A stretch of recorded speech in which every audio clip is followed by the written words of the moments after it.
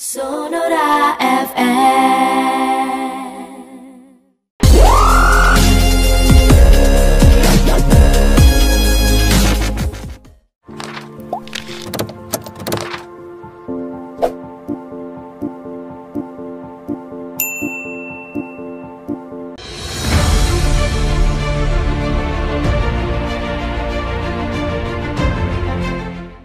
Gara-gara kelakuan jajaran Dinas Pemuda dan Olahraga Pandeglang yang dianggap menyepelekan hadiah bagi sejumlah cabang olahraga di ajang Bupati Cup 2021, membuat Bupati Pandeglang Irna Narulita marah. Inilah kegeraman Bupati Irna kepada Kadispora Pandeglang Dadan Saladin saat apel pagi. Dilansir dari Kompas.tv, ia marah saat mengetahui hadiah Bupati Cup hanya Rp95.000.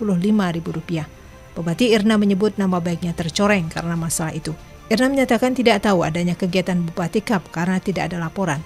Irna meminta inspektorat mengaudit kegiatan Bupati Cup karena menelan anggaran sebesar 150 juta rupiah. Bupati Irna pun mengaku telah mencopot Kepala Dinas Pemuda dan Olahraga Pandeglang, Dadan Saladin. Sebelumnya, sebuah foto viral di media sosial menampilkan jumlah uang hadiah Bupati Cup 2021. Juara satu cabang olahraga panjat tebing di Bupati Cup Pandeglang mendapat hadiah Rp165.000.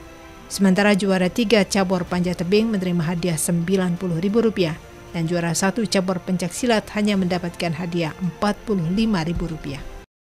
Sonora FM.